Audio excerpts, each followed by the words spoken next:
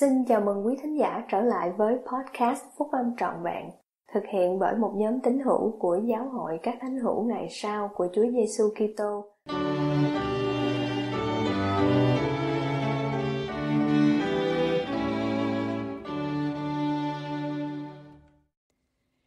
Tìm kiếm sự cứu giúp trong mối quan hệ giao ước của chúng ta với Thượng Đế.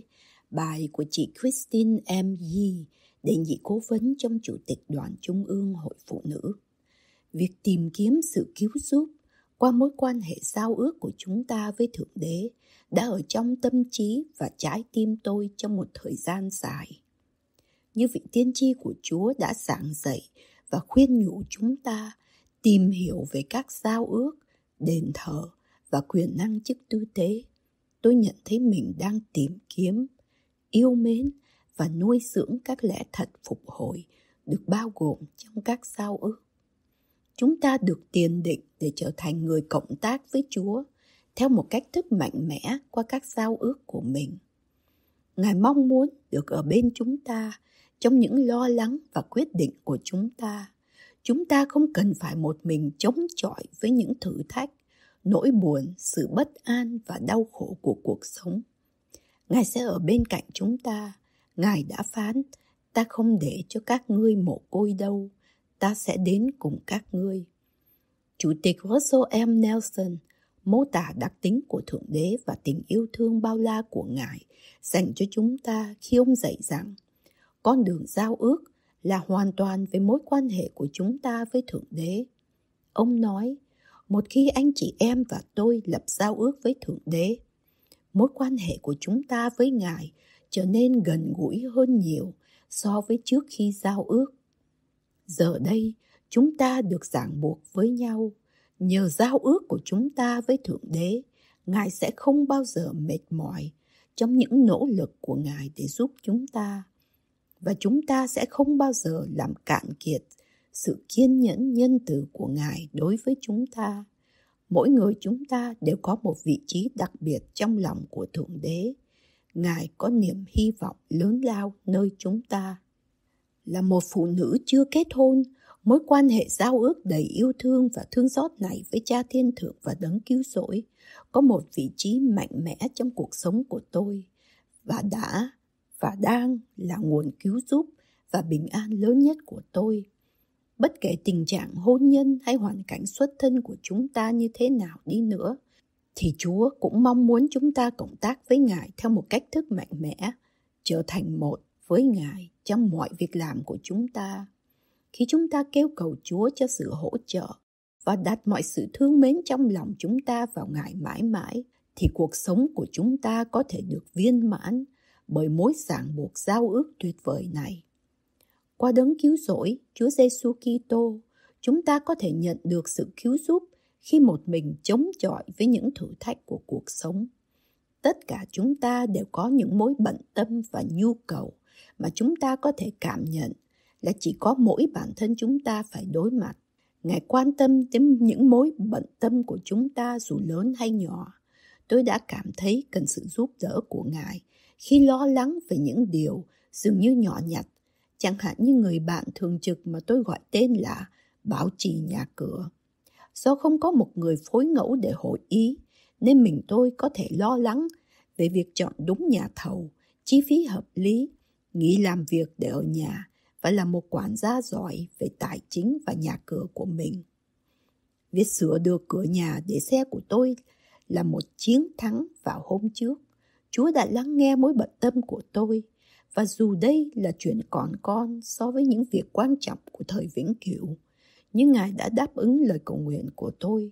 Bằng cách nào? Nhờ một người hàng xóm tốt bụng, sự giúp đỡ của Thánh Linh và một đoạn video trên YouTube, tôi đã được ban phước để biết phải làm gì để sửa cái cửa. Nếu Chúa lưu tâm đến những nhu cầu nhỏ nhặt, thì hãy hình dung ước muốn của Ngài để ban phước và nâng đỡ chúng ta qua những vấn đề nan giải hơn, thiên về tấm lòng và tâm hồn những vấn đề đó cũng nhiều không kém. Sự lạm dụng thói nghiện các mối quan hệ gia đình không tốt mất mát và thất vọng những thử thách triển miên về sức khỏe tinh thần và thể chất. Căng thẳng về tài chính, sự lo lắng thường trực với tư cách là cha mẹ, những bận tâm thường xuyên trong việc chăm sóc cha hoặc mẹ, sự vật lộn trong đức tin cá nhân, một đứa con hoặc người phối ngẫu đã chọn không sống theo phúc âm. Trong những lúc căng thẳng khốc liệt và ốm đau bệnh tật của cuộc đời, tôi đã nương cậy triệt để và bám chặt vào mối quan hệ giao ước của mình với Thượng Đế. Khi tôi tin cậy vào sự chăm sóc đầy yêu thương của Ngài và cố gắng hết sức mình để dâng hiến cuộc sống của mình cho Ngài, thì Ngài đã mang đến sự cứu giúp qua quyền năng chức tư tế của Ngài và là đấng cung ứng trong các nhu cầu thuộc linh lẫn vật chất của tôi. Ngài đã cứu giúp tôi khỏi nỗi sợ hãi, cứu giúp khỏi nỗi bất an, cứu giúp khỏi tính kiêu ngạo, cứu giúp khỏi tội lỗi, cứu giúp khỏi nỗi cô đơn, cứu giúp khỏi nỗi u phiền. Chủ tịch Nelson đã dạy một cách rõ ràng và chắc chắn rằng phần thưởng cho việc tuân giữ các giao ước với Thượng Đế là quyền năng từ trời, quyền năng củng cố chúng ta để chống lại những thử thách, cám dỗ và nỗi đau lòng một cách hiệu quả hơn. Qua Chúa Giêsu Kitô, chúng ta có thể nhận được sự cứu giúp khi một mình chống chọi với những thử thách của cuộc sống. Khi suy ngẫm về các phước lành của mối ràng buộc giao ước mà chúng ta có với Thượng Đế, thì tôi nghĩ về sự chỉ định của mình để đi thăm giáo vùng Bắc Á.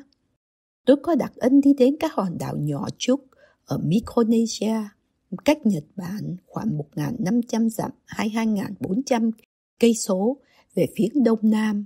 Hai trong số các chị em phụ nữ ở Ueno Trúc đã công hiến cả cuộc đời của họ để nuôi dạy những đứa trẻ bị cha mẹ bỏ rơi. Hai chị phụ nữ này cảm thấy việc nuôi dạy những đứa trẻ này theo phúc âm là điều quan trọng. Một trong hai người họ vẫn còn độc thân và làm việc toàn thời gian với tư cách là cố vấn trường học. Tôi chia sẻ với họ sứ điệp của Chủ tịch Nelson dành cho các chị em phụ nữ của giáo hội. Sứ điệp là các chị em phụ nữ được yêu thương, được cần đến và trân quý.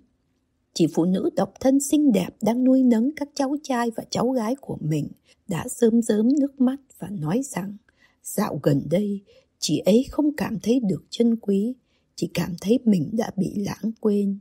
Nhưng chị đã làm chứng rằng chị ấy cảm nhận được tình yêu thương và sự nhận biết của Thượng Đế dành cho chị trong những lời của vị tiên tri rằng chị quả thật quý báu và chị biết điều đó là có thật. Chị cảm nhận được tình yêu thương chữa lành của Thượng Đế. Chị cảm thấy nhẹ nhõm. Chúa đã phán, các người há không biết rằng ta, Chúa Thượng Đế của các ngươi, đã sáng tạo ra tất cả loài người và ta cũng không quên những người sống trên các hải đảo. Các chị em phụ nữ này được cha thiên thượng và đấng cứu rỗi biết đến. Không chỉ riêng mình họ, mà anh chị em và tôi cũng vậy trong những khó khăn và thử thách của chúng ta. Chúa đã sai tôi đi khoảng 8.500 dặm, tức là 13.700 cây số, bằng máy bay, xe lửa, xe hơi và thuyền để mang tình yêu thương và sự cứu giúp của Thượng Đế đến với từng người một trên các hải đảo. Và cũng như thế, Ngài sẽ tìm được từng anh chị em và tôi, cho dù chúng ta ở bất cứ đâu, nơi mà chúng ta có thể cảm thấy đơn độc trước những lo lắng và gánh nặng mà chúng ta đang mang trong lòng. Ngài ở cạnh và sẵn sàng để ban phước, hướng dẫn và an ủi chúng ta. Chủ tịch Gordon B. Hinckley 1910 đến 2008 đã có lần mô tả kinh nghiệm của một người mẹ trẻ đã ly hôn và có 7 đứa con ở độ tuổi từ 7 đến 16 tuổi. Chị ấy kể rằng một buổi tối nọ, chị đã đi qua đường để mang một thứ gì đó đến cho một người hàng xóm. Đây là những lời của chị ấy khi ông thuật lại.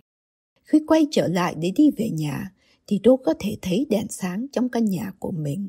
Tôi còn có thể nhớ lời các con tôi nói khi tôi bước ra khỏi cửa một vài phút trước đó. Chúng nói, mẹ ơi chúng ta sẽ ăn gì tối nay? Mẹ đưa con đi thư viện được không? Con phải có một tờ giấy để làm bách chương tối nay đó mệt mỏi và kiệt sức, tôi nhìn về hướng ngôi nhà của mình và thấy đèn sáng trong mỗi căn phòng. Tôi nghĩ tới lũ trẻ đang ở nhà chờ tôi về và đáp ứng các nhu cầu của chúng.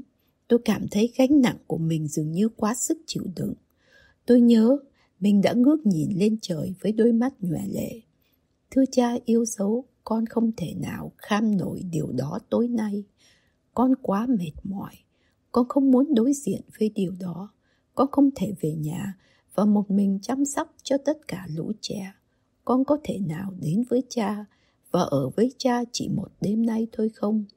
Tôi thật sự không nghe được lời đáp nào, nhưng tôi đã nghe được lời đáp trong tâm trí mình. Câu trả lời là, không con ơi, con không thể đến với ta bây giờ, nhưng ta có thể đến với con. Ta có thể đến với con. Ngài đã đến với chị ấy và Ngài sẽ đến với anh chị em và tôi, cũng giống như đấng cứu rỗi đã đến cùng người đàn bà bên giếng nước, nơi bà đã lao nhọc và vất vả trong suốt cuộc đời của bà. Ngài đã khích lệ bà, giảng dạy cho bà, tuyên bố Ngài là đấng Messi của bà và yêu thương bà ngay cả khi có lẽ bà không yêu thương bản thân mình. Đối với người đàn bà bên giếng nước, với người mẹ trẻ của bảy đứa con, với các anh chị em và tôi, Chúa Giêsu Kitô sẵn sàng cung ứng sự cứu giúp. Tôi làm chứng rằng chúng ta có thể nhận được sự cứu giúp qua mối ràng buộc giao ước của mình với một thượng đế nhân từ. Có lẽ giống như tôi, anh chị em đã cầu xin sự giúp đỡ để không bị bỏ mặc một mình trong những lúc khó khăn nhất về mặt cảm xúc, thể chất và thuộc linh trong cuộc đời mình. Những giai đoạn tăng trưởng mãnh liệt này đã để lại điều mà tôi gọi là vết dạng thuộc linh trong tâm hồn. Nhưng tôi làm chứng rằng Ngài đã nâng đỡ tôi và Ngài sẽ nâng đỡ anh chị em. Ngài đã chạm chúng ta trong lòng bàn tay Ngài. Ngài đã ở đó khi anh chị em tìm cách phải ngay chính trong bóng tối. Ngài đã không lìa bỏ tôi cũng như Ngài sẽ không bỏ rơi anh chị em. Và tôi sẽ yêu mến Ngài mãi mãi vì điều đó. Các anh chị em thân mến, nguồn gốc của tình yêu thương thanh khiết, sự chữa lành, hạnh phúc và sự cứu giúp đã được tìm thấy nơi Chúa Giêsu Kitô. Tôi làm chứng rằng Chúa Giêsu Kitô là nguồn cứu giúp. Ngài muốn chăm nom cho anh chị em, ban phước và tha thứ cho anh chị em. Ngài đã đến vì chính mục đích này để mang đến cho anh chị em sự cứu giúp rất cần thiết mà anh chị em tìm kiếm. Ngài là đấng cứu chuộc của thế gian, và tôi làm chứng rằng Ngài hằng sống và Ngài yêu thương anh chị em.